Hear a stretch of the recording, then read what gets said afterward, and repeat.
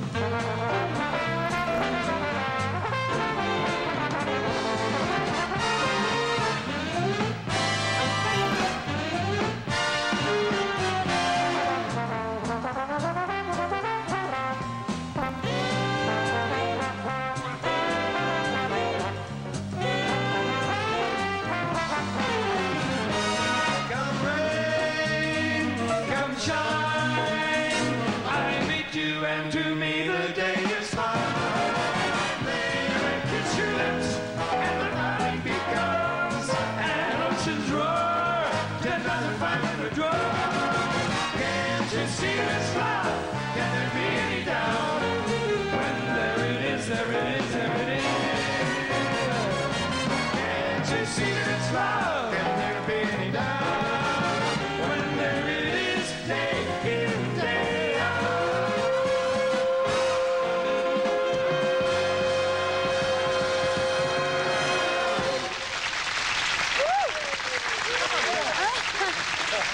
Thank you, Disney. Good evening.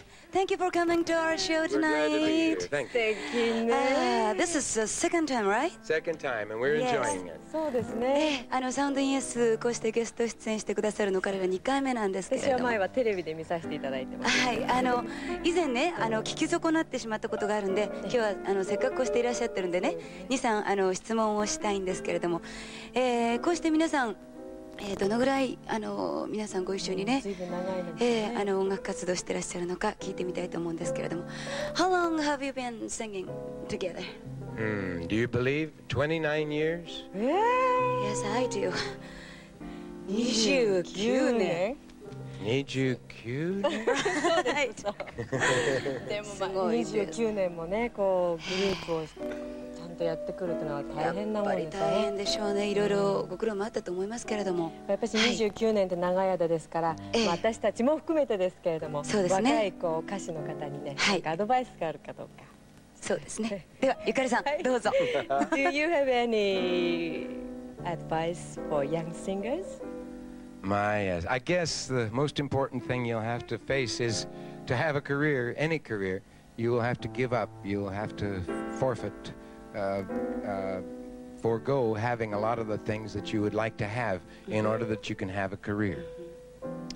やっぱりねそして犠牲もねいくつか払わなければいけないと やっぱり勉強させられますですね。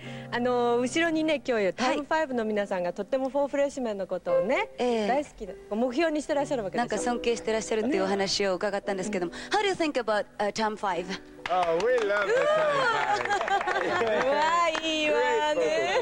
そうですまあそれじゃあ今日はねあのフォーフレッシュメンの皆さんそしてタイム5の皆さん、それからジミー竹内さんにも加わっていただきまして、はずみちゃんにもね、そのオープンハーモニーの醍醐味をじっくりと味わっていただきたいと思います。そうですね。まず1曲目ガールトークです。お願いします